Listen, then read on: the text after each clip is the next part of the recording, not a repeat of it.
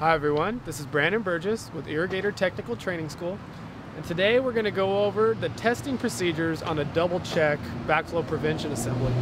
Now it's called a double check because believe it or not two check valves in there, right? Pretty simple. Again, all backflows need to be tested once a year minimum, right? Under if it's under a special requirement with your water authority, it might be more than once a year, but at least once a year. So equipment I'm gonna need for this one, I need my differential pressure gauge, my high side hose, my bleed off valve arrangement, and something specific to the double check, I need my sight tube, right? Of course I need appropriate fitting. So let's go ahead and go through the testing procedure. Okay, so the first thing we need to do is we need to notify the owner, notify them that we're coming in, we're going to be testing the backflow. We need to identify it. So this is a three quarter Watts. So we look at the serial number, we verify that.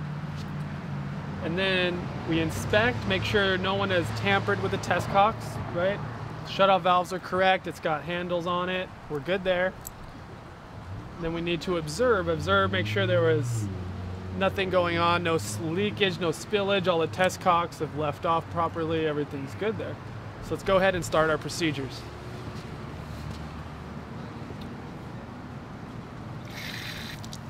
So what I'm doing here is just cleaning the test cocks. I'm just opening them up, closing them down. Again, I'm cleaning out all foreign material as well as making sure that they are operational right, so then there we go, number four. Okay, so I need to install my, whoa. Okay, so I need to install my sight tube on the number three test cock, right? So this is behind the, the first check valve. Fill it up.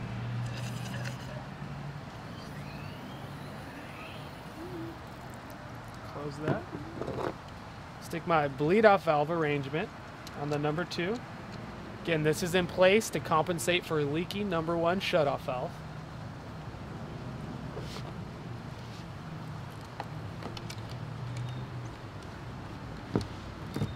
Got my differential gauge, hook up my high side hose, and hook my high side hose up to my number two test cock with a bleed off valve arrangement on that.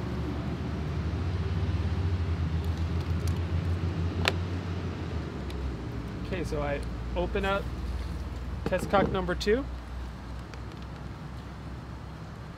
I'm gonna, on my, on my gauge, I'm gonna use the bleed, um, bleed valve. I'm gonna open it up, bleed out the air, close it down. Can you see it? Okay, so what now I'm gonna do is I'm gonna close shut off valve number two then close shutoff valve number one, making sure I have positive pressure, right, as I isolate. So now I'm isolated in here. What I'm gonna do is take my screwdriver, open test cock number three with the sight tube, allowing the water to come out of the sight tube, fully open that, and I'm gonna see what pressure my number one check valve's holding back. As you can see here, a value of over 2.0. We're looking for one. That's a passing value. Let's go ahead and move to number two test cock.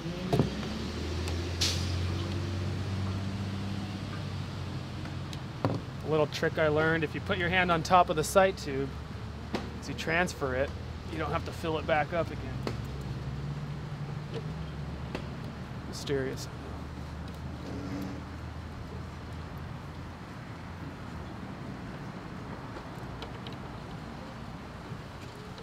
Okay, put my appropriate fitting on test cock number three.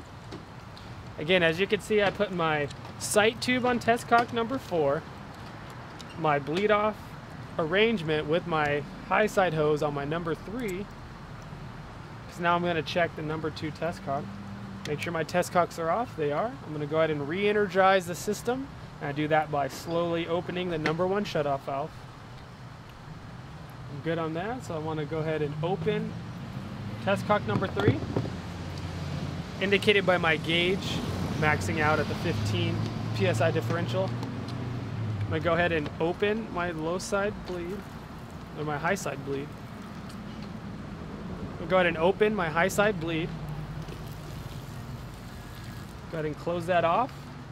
Again, hold my gauge at the appropriate level. This is very important. Center of the gauge at the level of the water. I'm gonna isolate by shutting shut off valve number one. Take my screwdriver and just simply open test cock number four with a sight tube on it. Which as my gauge goes down, fully open. And observe my reading. I'm at 2.6 psi, so that's a passing value on my check valve number two. So this overall is a pass on this assembly, on this double check valve. So I go ahead and close my close my shut-off valves, take off my equipment.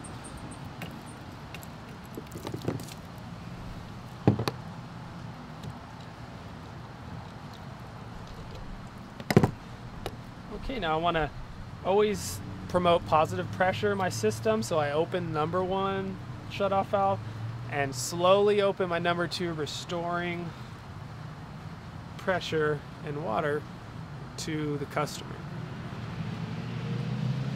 Okay, so again, this is Brandon Burgess with Irrigator Technical Training School.